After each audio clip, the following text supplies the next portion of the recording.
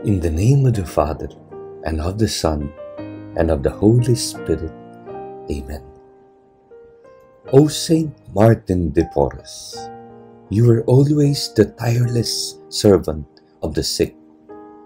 During your lifetime, and from your place in heaven, God allowed you to work many wonderful miracles.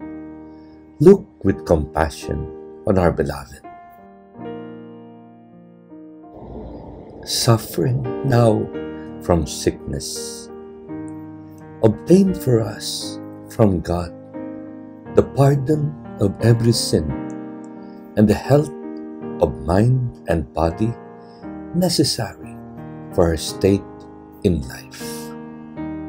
Help us to use with wisdom and with a thankful heart the health and strength God gives us so that, following your example, our whole lives may be a song of thanksgiving and of praise to the Father, the Son, and the Holy Spirit.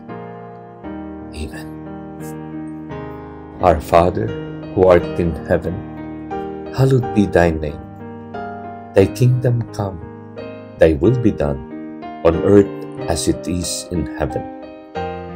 Give us this day our daily bread, and forgive us our trespasses, as we forgive those who trespass against us. And lead us not into temptation, but deliver us from evil. Amen. Hail Mary, full of grace, the Lord is with you. Blessed are you among women, and blessed is the fruit of your womb, Jesus. Holy Mary, Mother of God, pray for us sinners, now and at the hour of our death. Amen. Glory be to the Father, and to the Son, and to the Holy Spirit, as it was in the beginning, is now, and will be forever. Amen.